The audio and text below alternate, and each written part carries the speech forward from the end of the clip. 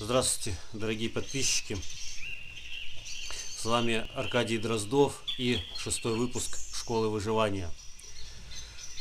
Нахожусь третьи сутки в тайге. Сейчас 10 часов утра. Сходил, проверил селки, которые вчера поставил с вечера. К сожалению, попался только вот такой маленький э, зайчик. Дальше планирую развести костер и его приготовить.